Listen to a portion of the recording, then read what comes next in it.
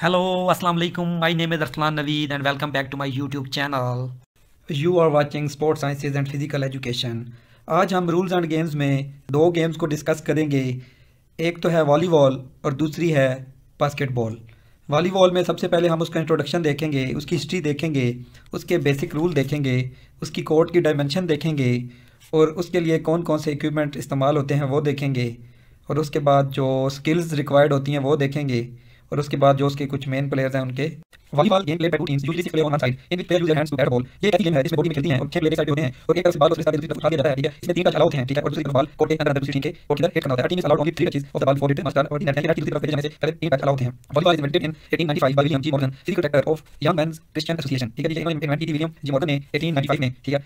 और इसलिए मैंने इन्वेंट की थी design as indoor sports for businessman businessman के लिए फाइंड की थी क्योंकि उन्हें बास्केटबॉल के अलावा कुछ और नई गेम खेली थी ठीक है मॉडर्न कार्ड स्पोर्ट्स में कौन की इन्होंने शुरू इसका नाम किया था until professor from Springfield college in Manchester noted the volume nature of the ball report the name of the volleyball the original rules were written by Morgan edited in the first edition of official handbook of athletic league to the young men's christian association of north america in 1895 यानी कि जो Olympic की association है इसके head जो skeletal rule है वो 1897 में किए हैं और इसकी मेंशन 1895 में हुई है the game was to have wide appeal wide appeal sorry for both sexes uh, sexes in schools grounds The game soon proved to have wide appeal for both states, the schools playground, armed forces and other organizations in the United States, and it was subsequently introduced to other countries. कि ये बताया कि ये game military में बहुत शुरू हुई और फिर इसका काफ़ी रुझान भी रहा और दूसरी कंट्रीज़ तक ये गेम जल्दी पहुँच बेसिक या पूरी गेम के लिए जो कुछ बुनियादी असूल है वो क्या है server must serve from behind the line dark blue और ग्रीन यानी कि कई बार डार्क ब्लू लाइन होती है कई बार ग्रीन होती है अनटिल आफ्टर कॉन्टैक्ट यानी कि वो ये बता रहा है कि जो सर्वर है ना उसने जो एंड लाइन है ना उससे पीछे से सर्विस करनी है और सर्विस करने के बाद वो लाइन को टच कर सकता है सर्विस करने से पहले लाइन टच भी होगी तो वो फाउल होगा बाल में भी सर्व अंडर हैंड और ओवर हैंड दो वे होते हैं अंडर हैंड सर्विस होती है या ओवर हैंड सर्विस होती है वो ये बता रहा है कि दो तरीकों से सर्विस वो कर सकते ball must be clearly visible to opponents before serve यानी कि सर्विस करने से पहले उसको बाल जो ओपोनेंट है, उन्हें पता चलना चाहिए, नज़र आनी चाहिए, ठीक है? सर्व बाल में graze the net and drop the other side for a point यानी कि जो सर्विंग सर्विंग जो बाल है, जब सर्विस करेगा प्लेयर तो वो दूसरे नेट की दूसरी तरफ़ गिरनी चाहिए। अगर इस तरफ़ गिरेगी तो दूसरी टीम को पॉइंट मिल जाएगा। प्लेयर में not hit the ball twice in the in succession a block is not considered a hit यानी कि एक प्लेयर दो बार इकट्ठा बॉल को हिट नहीं कर सकता, ठीक है? एक प्लेयर एक बार बॉल को उठाएगा, दूसरी बार कोई और प्लेयर उठाएगा तो फिर वो हिट कर सकेगा उससे पहले सेव करना अलाउ नहीं होता।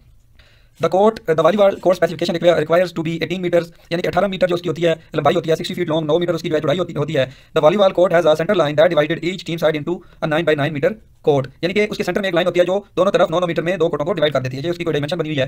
देख लेते हैं जी, ये साइड लाइन है जी, ये बैक लाइन है, ठीक है? ये सेंटर लाइन है, यानी कि इस तरफ़ 9 मीटर होगा और इस तरफ़ 9 मीटर। ये 3 मीटर का एक अटैकिंग एरिया होता है, ठीक है? और ये बैक जोन होता है, ये 6 मीटर होता है। ये तीन मीटर का इधर लाइन के पीछे सर्विस एरिया होता है जहाँ से प्लेयर सर्विस करता है, ठीक है? गर्ल्स के लिए जो इस मीटर की, इस बॉल की हाइट होगी, वो 2.24 मीटर होती है और मेंस के लिए 2.43 मीटर होती है। एंटीना लगा होता है, ठीक है? आउट ऑफ़ बाउंड एंटीना है इससे ऊपर जाता है तो अलाउ नहीं होता पॉइंट मिल जाता है, ठीक है? तो आगे मजीद इसका देख लेते हैं, ये डायमेंशन एक और भी दिए हुए हमारे पास। तो इसमें बताया हुआ है, ये सारा दोबारा ही, ठीक है? सर्विंग एरिया आगे हमारा, ये तीन मीटर की आगे, ये छः मीटर की आगे टोटल जो है, वो इसका अठारह मीटर का आ गया। ऑप्शन है, ठीक है? इसमें ये बताया गया कि जी, ये लेडीज़ के लिए या लड़कियों के लिए जो है two point two four metre इसकी हाइट होगी और मेंस के लिए two point four three metre, ये तीन मीटर का होगा इसका अटैकिंग कोर्ट और ये नौ मीटर का होगा। ठीक है, ये एंटीने की हाइट पोल की हाइट ये सारी डायमेंशन बताई हुई हैं। ठीक है वॉलीबॉल बॉल इक्विपमेंट वॉलीबॉल के लिए जिन, यानी कि कौन कौन सी जो उसकी खेलने के लिए कौन कौन सी चीज़ें ज़रूरत होती हैं net is a one metre long and 9.5 to 10 metre wide ठीक है, एक मीटर लॉन्ग उसकी चौड़ाई होगी और जो है 9.5 या 10 मीटर वो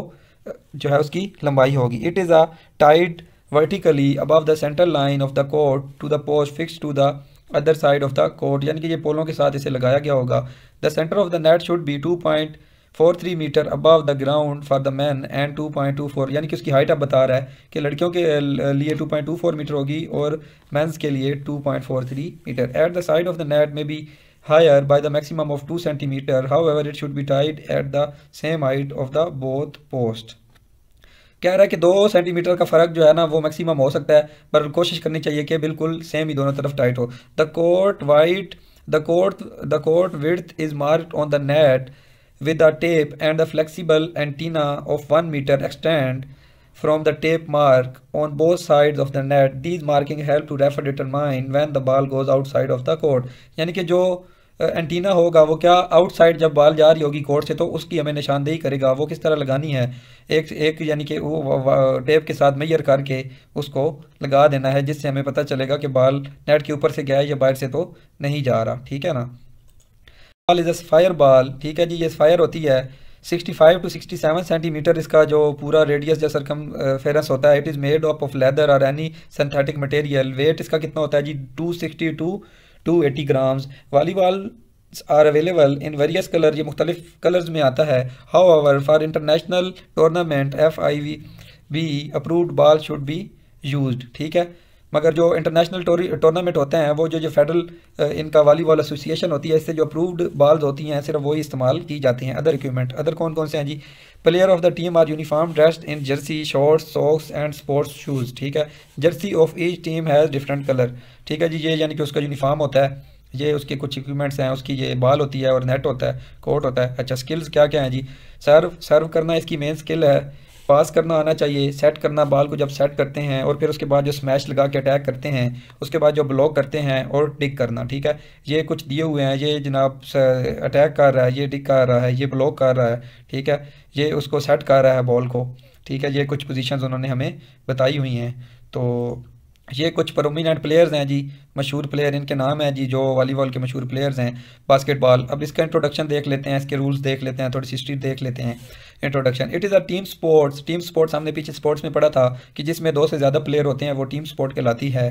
That involve two teams of five active players each trying to score point against one and other by throwing a ball through a three hundred centimetre ten feet high hoop the basket. यानी कि basket करने के लिए दोनों team कोशिश करती हैं और बास्केट करके स्कोर करती हैं। अंडर ऑर्गेनाइज रूल, किसी रूल्स के अंडर वो काम करती हैं। It is played on both indoor and outdoor courts ये इनडोर कोर्ट्स में भी खेली जा सकती है गेम और आउटडोर कोर्ट्स में भी खेली जा सकती है। देख लेते हैं।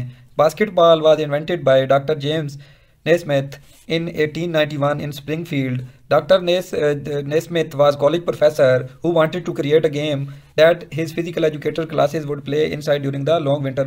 यानी कि वो चाहता था फ़िज़िकल प्रोफेसर था कॉलेज में तो वो ये चाहता था कि मैं अपने बच्चों के लिए कोई ऐसी गेम डेवलप करूँ जो कि सर्दियों में बच्चे इनसाइड खेल सकें the first game use the peach basket nail to the wall और for firm for rims the first ball use was a soccer ball यानी कि वो बता रहा है कि जो सबसे पहले जो एज ए बास्केट के लिए इस्तेमाल हुई थी, ये मैंने लगाई है जी पीच बास्केट इस तरह की होती थी, ये हैंग कर देते थे वो दीवार के ऊपर। और जो सोकर की बाल थी, यानी कि जो फुटबॉल की बाल थी, उसके साथ खेली जाती थी। और इसके दीवार के या किसी और चीज़ के साथ हैंग करके तो वो खेलते थे।